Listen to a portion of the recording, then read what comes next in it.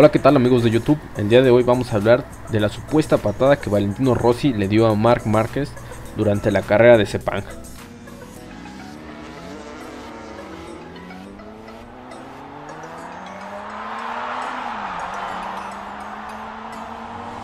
Seguramente ya todos lo habrán visto y en mi opinión, efectivamente, Valentino Rossi tiró a Marc Márquez.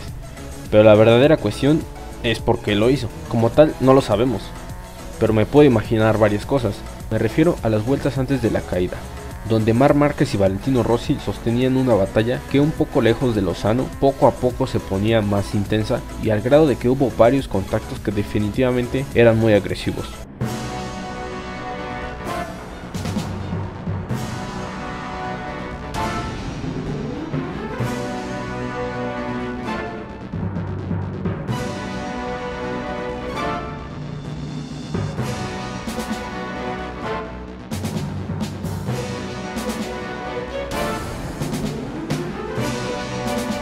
Incluso hay una parte donde Valentino Rossi se voltea y le hace unas señas a Mar Márquez como diciéndole, ya cabrón, cálmate, sabiendo que podían acabar muy mal si seguían ese ritmo por el tercer lugar.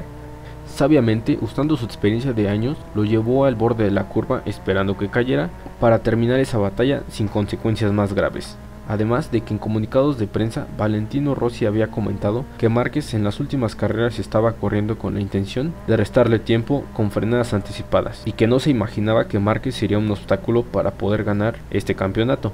Porque si los ubicamos en la tabla, Valentino y Lorenzo están alrededor de 100 puntos del tercer lugar o sea de Mar Márquez, que ni aunque ganara cuatro carreras seguidas podría alcanzarlos. En pocas palabras, Valentino, si se cae, tiene todo que perder y Márquez nada que ganar ni nada que perder.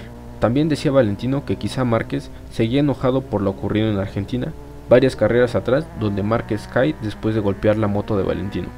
Y si vemos en cámara lenta lo que pasó en Sepang desde la cámara del helicóptero, no existe ninguna patada por la cual todos se ponen locos. Para cuando Valentino mueve su pie, Márquez ya estaba en el suelo, y en mi opinión Valentino Rossi sí tiró a Márquez intencionalmente, pero para que esto no acabara en algo peor. Al final, Valentino Rossi fue penalizado con 3 puntos por esta acción y sumados al que ya tenía, ahora tendrá que salir desde el último lugar de la parrilla en la próxima carrera, que vendría siendo la última carrera.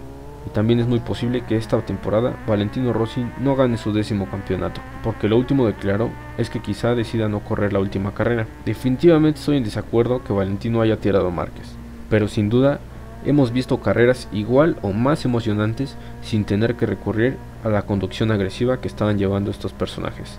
A mi parecer, fue más como un estate quieto cabrón por parte de Valentino que otra cosa. Y bueno amigos, esa es mi opinión personal. Ustedes déjenme en los comentarios qué es lo que creen que pasó. Si lo pateó o no lo pateó. ¿Quién creen que gane esta temporada del GP? ¿O quién les gustaría que ganara? Gracias por ver y no se pierdan la última carrera de la temporada. Hasta luego.